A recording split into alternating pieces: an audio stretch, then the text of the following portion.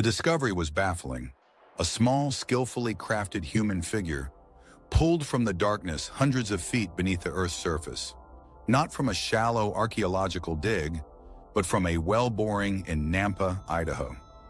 This figurine, an artistic representation of the human form, was found in geological strata that conventional science insists predates the very existence of modern humans by millions of years, challenging everything we thought we knew about our ancient past. It is a relic that time tried to bury, a piece of forbidden archaeology that directly contradicts the established narrative of human origins.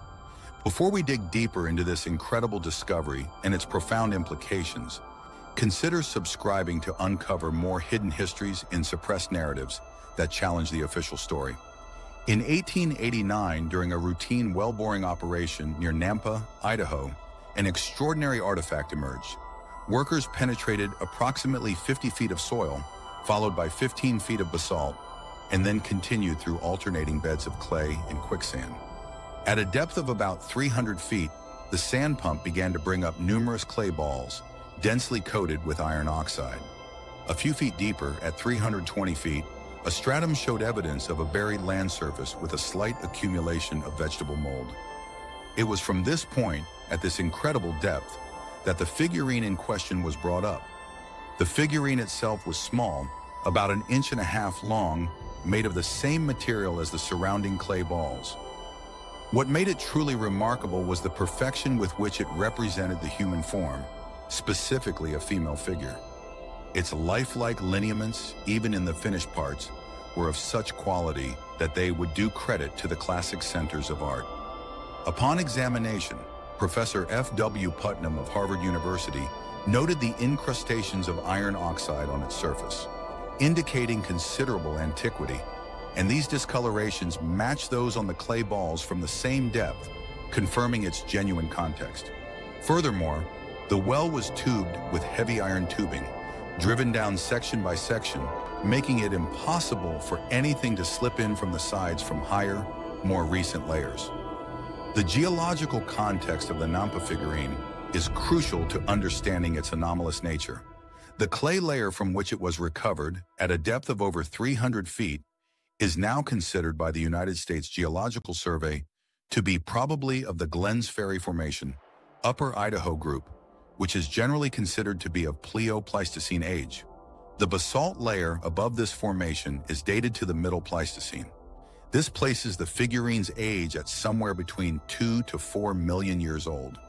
This dating presents a profound challenge to mainstream archaeological and evolutionary theories. According to standard views, humans capable of such artistry, anatomically modern humans, Homo sapiens sapiens, did not arise in their African homeland until about 100,000 years ago, and their arrival in Europe with similar artistic capabilities is dated to about 30,000 to 40,000 years ago. If the Nampa figurine is indeed 2 to 4 million years old, it suggests the presence of culturally advanced human beings in North America millions of years before they are conventionally believed to have evolved anywhere on Earth. The implications were so radical that even W.H. Holmes of the Smithsonian Institution, a prominent critic of anomalously old finds, acknowledged the figurine's potential impact. In his 1919 Handbook of Aboriginal American Antiquities, Holmes remarked on the apparent improbability of the occurrence of a well-modeled human figure in deposits of such great antiquity. He noted that if accepted at face value, the specimen establishes an antiquity for Neolithic culture in America so great that we hesitate to accept it without further confirmation. Holmes, typical of the academic response to such anomalies, attempted to explain away the Nampa figurine. He speculated that it could have descended from the surface through some crevice or watercourse penetrating the lava beds and have been carried through deposits of creeping quicksand aided by underground waters to the spot tapped by the drill.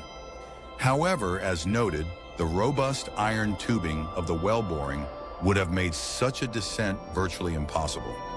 Furthermore, Holmes himself conceded that forms of art closely analogous to this figure are far to seek.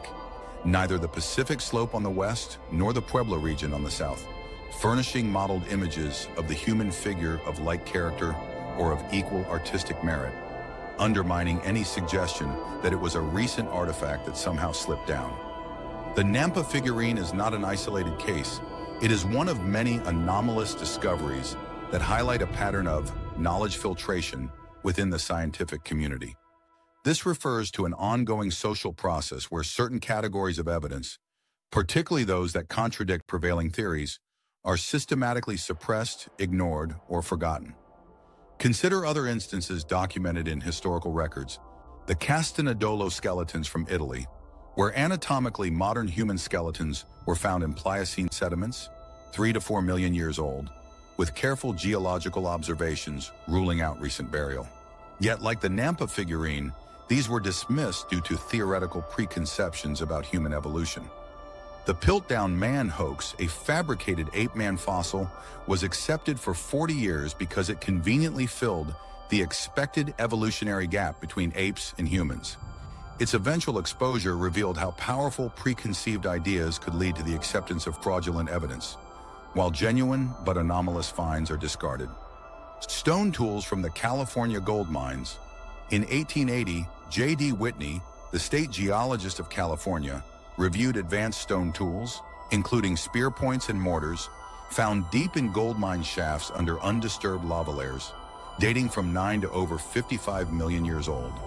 W.H. Holmes of the Smithsonian openly stated these facts had to be discarded because they didn't fit the story of human evolution as it is understood today. The metallic quasi-coin from Illinois. In 1871, William E. Dubois of the Smithsonian reported a copper coin-like object found at a depth of 125 feet in a well boring in Illinois. Geological estimates for that depth suggest an age of 200,000 to 400,000 years. Yet metal coins are traditionally thought to have first appeared in Asia Minor around 800 BCE. Metallic tubes in Cretaceous chalk from France. In 1968, semi-ovoid metallic tubes were discovered in chalk beds estimated to be at least 65 million years old. The researchers concluded that intelligent beings must have lived 65 million years ago. A grooved metallic sphere from South Africa, found in a pyrophyllite deposit near Ottosdal, Western Transvaal, dating back 2.8 billion years. This sphere with three parallel grooves challenges the timeline of intelligent craftsmanship. These cases, including the Nampa figurine, consistently point to a greater antiquity for anatomically modern humans and advanced culture than is currently accepted. The authors of Forbidden Archaeology, Michael A. Cremo and Richard L. Thompson, highlight that this selective handling of evidence is often driven by theoretical preconceptions. If evidence does not conform to the established evolutionary sequence, it is often dismissed as a mistake, an illusion, or a hoax regardless of its quality.